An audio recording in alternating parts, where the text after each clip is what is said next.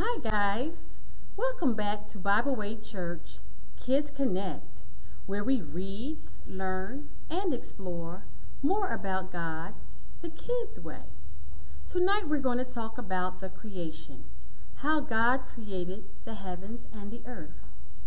Do you know what the word creation means? It means to make something, to put something together, to make things happen for yourself um, let's just say if you wanted to make um, a special card for someone and you might want to put some stars on it or some glue on it, some glitter on it, you're creating something.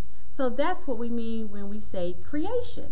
So tonight we're going to talk about how God created the heavens and the earth.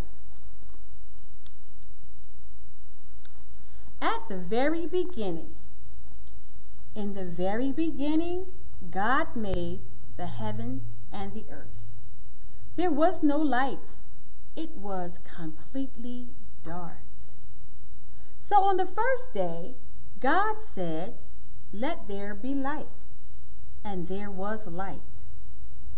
We call the light day and the dark night. And God looked around and he said, This is good. This was day one.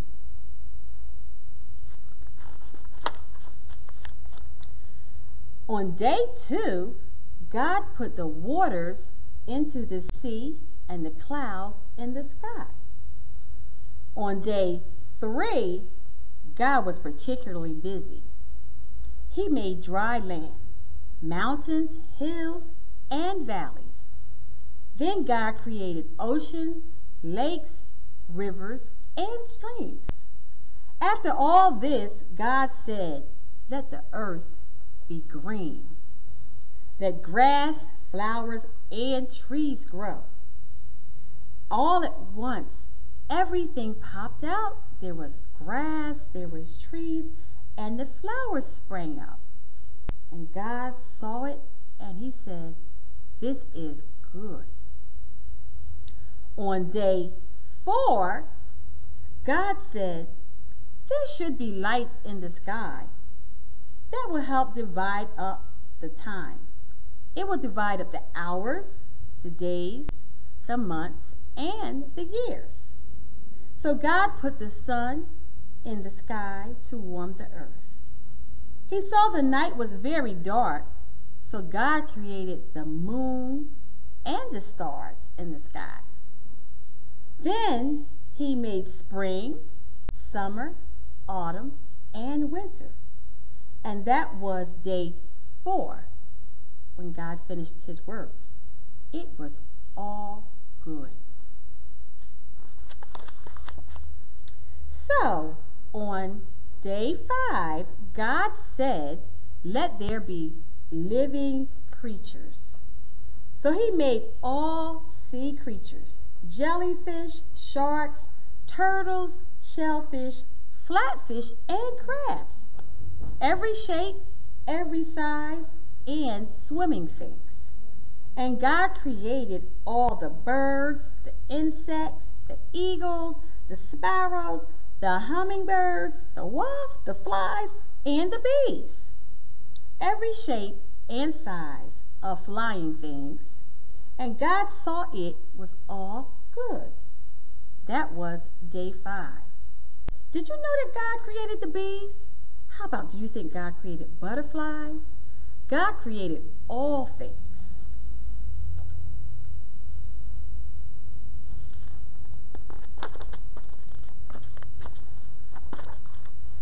On day number six, God said, Let there be living things on land too.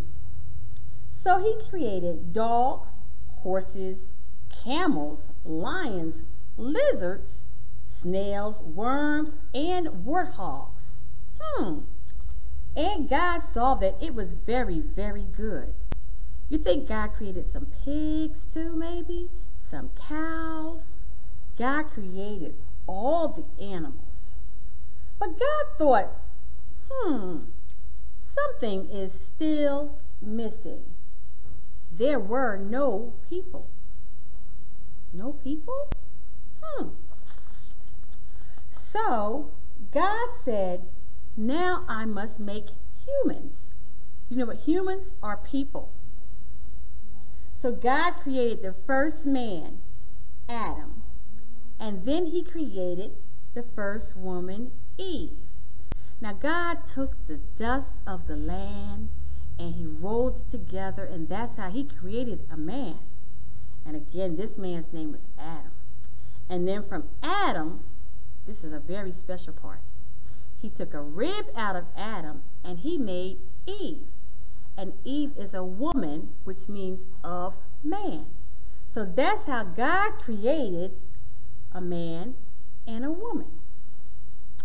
God made them all by himself, and he wanted them to be like him.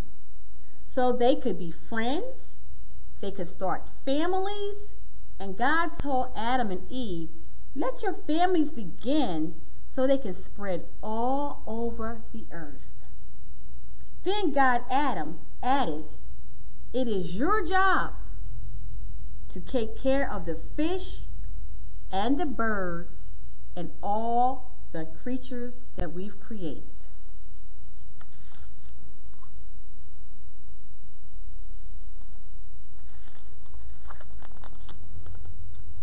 After he had created the first humans, God looked at everything that he had made. It was very good.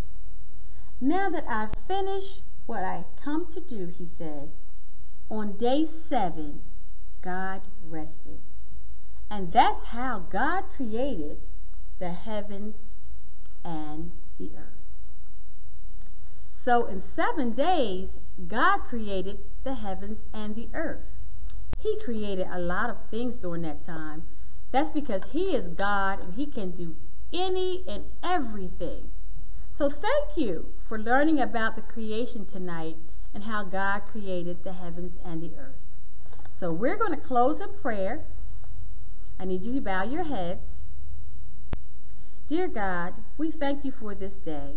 Lord, we thank you for your creations, Lord, for creating the animals, the heavens, the earth, and for creating us, Lord. We thank you for making me who I am, and we thank you for making all those out there who they are, Lord. We thank you for the children, the mommies, the daddies, and all the families.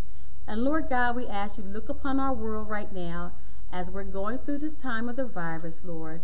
We thank you because we know that you're able to take care of everyone that's sick, everyone that is working, everyone that is doing whatever they can do to help with the virus.